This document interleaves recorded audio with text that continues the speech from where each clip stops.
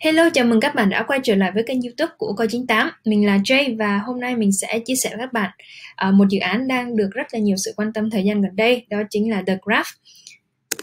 À, Trong bài hôm nay thì mình sẽ chia sẻ về việc uh, dự án The Graph là gì Cách thức hoạt động như thế nào uh, Tình hình hiện tại và tương lai của dự án. Ok, chúng ta cùng bắt đầu luôn với phần đầu tiên nhé. Um, The Graph là một uh, giao thức phi tập trung dành cho việc lập chỉ mục index và truy vấn dữ liệu query từ blockchain và các mạng lưới lưu trữ. Thì hiện tại uh, The Graph đang cung cấp dịch vụ trên blockchain Ethereum và tương lai sẽ mở rộng thêm nhiều blockchain khác nữa và cả IPFS nữa. Thì uh, The Graph cho phép bất kỳ ai cũng có thể xây dựng và publish các API gọi là các subgraph và các subgraph này sẽ giúp cho việc lưu trữ dữ liệu từ blockchain dễ dàng hơn, giúp các developer dễ dàng có thể build trên blockchain hơn. Ờ, và bạn có thể uh, hình dung The Graph giống như là Google của blockchain vậy. À, khi mà mình tìm kiếm thông tin trên Google thì Google sẽ truy vấn cái thông tin đó và trả về kết quả cho chúng ta. Thì The Graph cũng đem đến khả năng đó cho blockchain. À, tóm lại thì bạn có thể hiểu nôm na rằng The Graph sẽ giúp sắp xếp các dữ liệu và khiến các dữ liệu trên blockchain này dễ tiếp cận hơn. À, và hiện tại thì dự án đang cung cấp uh, hosted service từ tháng 1 năm 2019 và có 2.900 subgraph, hơn 2.900 subgraph cho các ứng dụng. Ờ, một số ứng dụng DeFi nổi tiếng như là Synthetix, uh, ờ, Uniswap, AV hay là Balancer. Um, thì uh, mình sẽ lấy một uh, ví dụ để bạn có thể hiểu được ứng dụng của The Graph. Ví dụ như là bạn đang làm một nghiên cứu về CryptoKitties và bạn sẽ cần có một số dữ liệu để phục vụ nghiên cứu của mình. Uh, ví dụ như những câu hỏi như là uh, địa chỉ uh, địa chỉ ví Ethereum nào đó sở hữu bao nhiêu CryptoKitties hay là một CryptoKitty nào đó được ra đời vào khi nào thì uh, rất là đơn giản và những cái câu hỏi đó chúng ta có thể truy vấn rất nhanh trực tiếp từ smart contract. Tuy nhiên uh, sẽ có những câu hỏi phức tạp hơn. Ví dụ như là chủ sở hữu của CryptoKitties mà được sinh ra từ tháng 1 đến tháng 2 năm 2020 là ai chẳng hạn. Thì những câu hỏi như vậy, uh, cái kết quả nó sẽ không đơn giản có thể xuất ra một bước từ smart contract nữa mà nó sẽ tốn nhiều thời gian uh, tốn nhiều giờ thậm chí là nhiều ngày để chụp để các uh, đi app có thể tìm ra kết quả. Uh, bởi lẽ cái việc mà để lập chỉ mục trên uh, dữ liệu blockchain là khá là phức tạp. Thì um, the graph có thể giúp bạn có thể kết ừ, có được cái kết quả này dễ dàng hơn để phục vụ nghiên cứu của mình mà không cần phải mày mò từ cốt nữa. À, ok, thì tiếp theo chúng ta cùng đi sâu một chút vào cách thức hoạt động của The Graph nhé. À, trên hình này là minh họa đơn giản của mình về các thành phần trong The Graph. À, đầu tiên, ở đây chúng ta có các indexers là những người lập chỉ mục. À, đây là những người vận hành nốt ở trong The Graph Network. Họ sẽ stake uh, à, GRT. Uh, à, GRT là cái token gốc của The Graph Network. Uh, và họ sẽ cung cấp cái dịch vụ lập chỉ mục cũng như là xử lý các truy vấn thì các indexer sẽ được trả phí truy vấn cũng như là phần thưởng cho việc lập chỉ mục của mình. À, các query market ở đây sẽ bao gồm một mạng lưới rất là nhiều indexers khác nhau phi tập trung và tất cả mọi người đều cạnh tranh với nhau để cung cấp dịch vụ tốt nhất với giá tốt nhất. À, tiếp theo là các curators. À, curators là những người quản lý à, và họ có thể là những người phát triển nên cái subgraph. À, họ cũng có thể là những người sử dụng dữ liệu hoặc là các thành viên của cộng đồng um, mà những người này có thể báo hiệu cho các indexers những API nào nên được lập chỉ mục. À, để mình giới thiệu uh, giải thích một chút về subgraph thì subgraph là một uh, những là những cái API mô tả cho the graph rằng uh, nên in, uh, cần phải index data như thế nào. Ví dụ như là cần phải lấy dữ liệu từ nguồn dữ liệu web 3 nào smart contract nào sự kiện nào cần phải uh, chú ý để lấy. À, và cách để kết nối những dữ liệu sự kiện đó với nhau. Thì các curators này sẽ stack RRT để báo hiệu về một subgraph cụ thể và họ sẽ nhận được một phần phí truy vấn cho các subgraph mà họ đã báo hiệu. Và do đó thì họ sẽ có cái động lực để tìm kiếm những nguồn dữ liệu chất lượng cao để báo cho các indexers. À, tiếp theo là các de- delegators. Thì uh, vai trò của các uh, delegators những người ủy quyền thì uh, họ sẽ là những cá nhân mà cũng muốn đóng góp vào việc bảo mật cái mạng lưới The Graph Network nhưng mà họ sẽ không muốn trực tiếp chạy nốt thì họ có thể đóng góp bằng cách họ ủy quyền các token GRT của mình uh, cho các indexers và nhận được một phần phí truy vấn cũng như là phần thưởng lập chỉ mục. Và các delegator sẽ chọn các indexers dựa trên hiệu suất hoạt động của họ cũng như là tỷ lệ phí truy vấn này thời gian hoạt động vân vân. À, và tiếp theo nữa là các người tiêu dùng thì những người tiêu dùng là những người cần truy vấn các dữ liệu và họ sẽ trả các phí truy vấn cho các indexers, curators cũng như là delegators. À, và người người tiêu dùng có thể là các developers này hoặc là có thể chính chính là các dự án tự chi trả phí truy cập cho các ứng dụng của mình. à, và căn bản thì một người tiêu dùng sẽ tương tác với các query market như sau. Đầu tiên thì uh, những người tiêu dùng sẽ hỏi là the graph uh, có các indexers nào cung cấp cái dữ liệu mà họ đang cần không. Uh, sau đó thì the graph sẽ trả lại kết quả gồm các những indexers mà có đúng tiêu chí đó và người tiêu dùng sẽ chọn um, trong các indexers đó người nào mà có khả năng cung cấp dịch vụ với chất lượng tốt nhất cũng như là giá tốt nhất. Uh, tiếp theo thì người tiêu dùng sẽ gửi cho indexers uh, những uh, indexers mà mình đã chọn uh, một khoản phí nhỏ mà họ sẵn sàng trả và nếu indexers này chấp nhận mức giá này thì họ sẽ xử lý các truy vấn À, và trả lại kết quả cho người tiêu dùng và nhận được khoản thù lao của mình.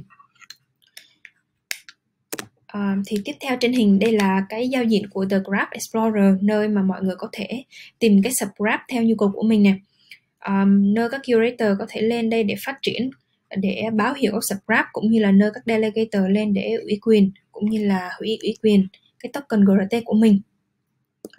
À, ok vậy thì nãy giờ mọi người cũng đã hiểu sơ sơ về à, token GRT à, thì um, mình nhắc lại một chút thì à, um, GRT dùng uh, các indexer sẽ dùng GRT để staking vào network để có thể xuất hiện trong thị trường truy vấn. Và cái khoản GRT này cũng là để cung cấp an ninh về mặt kinh tế cho hoạt động của indexer.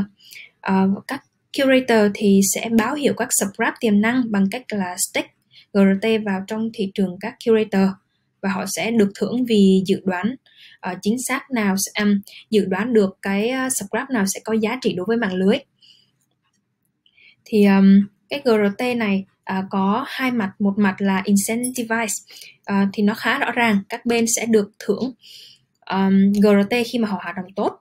Cũng một mặt khác thì nó sẽ disincentivize có nghĩa là uh, không khuyến khích các hoạt động kém chất lượng ví dụ như là các indexer mà cung cấp dữ liệu không chính xác cho các ứng dụng này hoặc là họ lập các chỉ mục mà không chính xác thì sẽ họ sẽ bị cắt bớt cái phần thưởng GRT mà mình được nhận.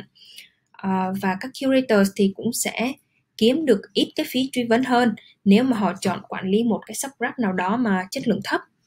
Bởi lẽ khi mà cái subgraph có chất lượng thấp thì sẽ có ít truy vấn hơn à, để xử lý hoặc là ít người lập chỉ mục hơn để uh, xử lý cái truy vấn đó um, ok tiếp theo thì chúng ta sẽ xem tình hình hiện tại của the graph uh, điểm đầu tiên mà chúng ta cần lưu ý là đến thời điểm mà mình làm video này thì dịch vụ của The Graph vẫn chưa ra mắt ở trên mainnet mà vẫn đang chạy ở dạng là hosted service. Uh, và tính đến tháng 8 năm 2020 thì hosted service của The Graph đã xử lý hơn 4 tỷ truy vấn uh, hàng tháng cho các ứng dụng như là Uniswap này, Synthetix này. Và so với cái thị trường truyền thống thì đây không phải là một con số quá lớn nhưng mà cũng là khá, theo mình là cũng khá là ấn tượng. Um, bởi vì cái thời gian này thì The Graph vẫn chưa uh, đẩy mạnh quá nhiều về truyền thông. Uh, ví dụ như bạn có thể thấy ở trên hình này là daily query volume thì vào ngày 28 tháng 8 thì nó đã đạt gần mức 250 triệu query một ngày.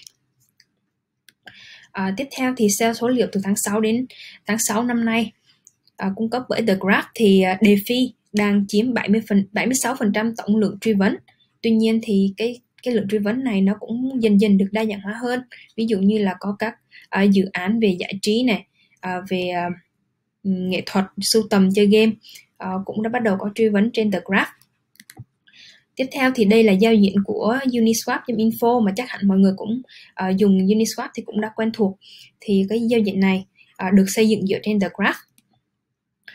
Um, The Graph thì gần đây cũng đã ra mắt chương trình Curator với những có những cái tên lớn nổi tiếng tham gia ví dụ như là CoinGecko, CoinMarketCap hay Messari. Um, những nhà đầu tư của The Graph cũng có những cái tên uh, khá là lớn như là Framework Venture hay là Coinbase Ventures. Uh, và gần đây thì uh, The Graph đã gọi được 12 triệu đô từ vòng public sale vào tháng uh, 10 2020. Uh, về tương lai của The Graph thì mình có một số uh, thông tin như sau. Uh, đầu tiên thì gần gần nhất thì The Graph sẽ chuyển từ dạng hosted service uh, sang cái mạng lưới phi tập trung hoàn toàn được vận hành bởi các nốt uh, trong năm 2020 này. Uh, và thứ hai, có một điều mình muốn đề cập đó là cái quan hệ hợp tác của The Graph với Chainlink uh, cũng rất là đáng chú ý. À, bởi vì sự tích hợp của hai dự án này sẽ giúp cho các dữ liệu được index từ The Graph có thể được chuyển tiếp luôn qua các smart contract và mở ra những cơ hội lớn hơn cho các developer phát triển các sản phẩm phi tập trung của họ. Và à, theo mình thì sự kết hợp này đem đến những tiềm năng vô cùng lớn. Và The Graph mình nghĩ là có thể có khả năng mở ra một tương lai mới cho Web 3 và có thể đóng vai trò rất là quan trọng trong tương lai này. Uh, ý đầu tiên ấy thì um, The Graph giúp các uh, đi app như chúng ta hồi nãy nãy giờ chúng ta có thể tìm hiểu rồi thì The Graph giúp cho các đi app có thể được build một cách dễ dàng hơn rất nhiều so với trước đây. Uh, cụ thể thì thay vì các developer phải tự viết code về uh, để index cái data về và có server cũng như là database riêng uh, trên cơ sở hạ tầng tập trung để um, lưu trữ dữ liệu của mình thì tất nhiên nó sẽ đi kèm với nguy cơ nếu mà cái server này bị tắt chẳng hạn. Ví dụ như là bị cúp điện đi thì cái app này coi như không hoạt động được luôn. Thì giờ đây với The Graph thì họ chỉ cần deploy một cái subgraph là được luôn được dụng à, được rất là dễ dàng. À, thêm một ý nữa thì là à, hiện tại cái rào cản trong việc phát triển đi app một cái yếu tố rào cản trong việc phát triển đi app đó chính là khả năng tương tác cũng như là sự minh bạch. Thì hai điều này phụ thuộc rất là nhiều vào khả năng truy cập dữ liệu. Và nếu một đi app không thể dễ dàng truy vấn dữ liệu từ một đi app khác thì chúng khó có thể tích hợp với nhau. Và đây chính là điều mà The Graph có thể giải quyết giúp cái việc truy vấn dữ liệu dễ dàng hơn. Ok vậy thì chúng ta hãy cùng nhau theo dõi khi mà mainnet của The Graph chính thức ra mắt thì họ có thu hút được nhiều các indexers, các curators cũng như là các người dùng uh, về với mạng lưới của mình không nhé? À, ok trên đây là những gì mà mình muốn chia sẻ với mọi người về The Grab hôm nay. À, mọi người đừng quên nhấn like nếu thấy thích video này cũng như là hãy nhấn nút subscribe để không bỏ lỡ các video mới mà chúng mình sẽ ra mắt trong tương lai nhé. À, các bạn cũng có thể quét hai cái mã QR mà mình để ở trên màn hình để có thể vào website coi 98 đọc thêm các bài phân tích chuyên sâu cũng như là tham gia group Telegram để thảo luận uh, với các thành viên Pháp cũng như là với admin của coi 98. Uh, à, cảm ơn và hẹn gặp lại các bạn trong video tiếp theo.